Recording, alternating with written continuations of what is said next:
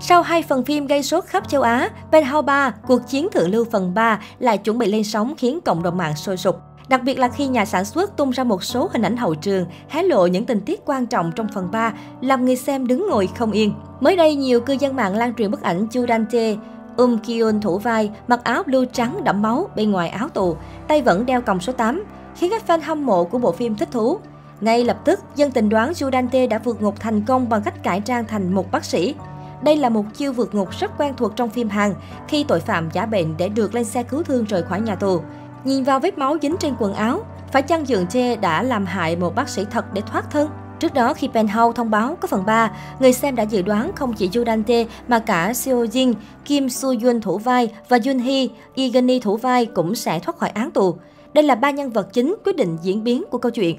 Nếu tất cả đều ăn cơm tù thì khán giả cũng chẳng còn gì để hóng nữa. Trước đó, trang SPO TV News của Hàn Quốc bất ngờ đưa tin ở phần 3 của siêu drama này sẽ có sự góp mặt của một nhân vật mới, em trai thất lạc của Yu Dante. Đáng nói hơn cả khi vai diễn này lại do nam thần và người mê Lee Jun Ki đảm nhận. Nhiều người cho rằng em trai của sát nhân số 1 Penthouse chắc chắn cũng sẽ không thua kém anh mình về độ tàn ác. Tuy nhiên với biên kịch Penthouse thì không gì là không thể. Rất có thể em trai của Dượng Tê lại là một người hiền lành, tử tế cũng không chừng.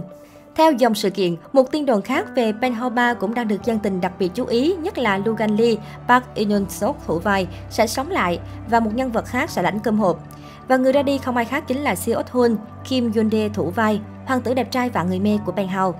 Ở tập cuối Penthouse 2, trước khi gặp lại chị đẹp Sim Suryeon, Lizia thủ vai, Logan Lee đã bị gà bẫy, nổ banh xác ngay trước mặt người thương. Nhưng theo quy tắc, chưa có xác là vẫn còn sống của biên kịch bộ phim, anh vẫn có ngàn lý do để thoát chết và trở lại. Đây là điều cư dân mạng đã lường trước. Một số người xem còn cho rằng đây chỉ là một giấc mơ hoặc sự tưởng tượng của nhân vật nào đó, Sudante, Logan Lee hoặc Surion. Giả thuyết này ngày càng trở nên đáng tin cậy hơn khi tập trung vào bó hoa hồng xanh mà Surion cầm trên tay, loại hoa tượng trưng cho tình yêu vĩnh cửu, chung thủy, trường tồn mãi theo thời gian. Như vậy, Logan Lee có thể sẽ không phải lĩnh cơm hộp và sớm đoàn tụ với Surion. Đơn đoán về cái chết, Siot Hun lại khiến khán giả bàng hoàng và khó chấp nhận. Dù nhận nhiều ý kiến trái chiều, Siot Hun vẫn là nhân vật có rất đông fan. Nếu Siot Hun thực sự chết ở tập 1, Bang Hao Ba nhất định sẽ trở thành tâm điểm tranh cãi trên mạng xã hội. Tuy nhiên với những fan cứng của bộ phim thì điều này chẳng có gì lạ lắm. Penthouse từng có rất nhiều tình huống gây sốc như Sim Suryeon bị đâm, Rona bị đẩy ngã cầu thang. Nhưng những nhân vật này tưởng đã chết đều sống lại một cách kỳ diệu.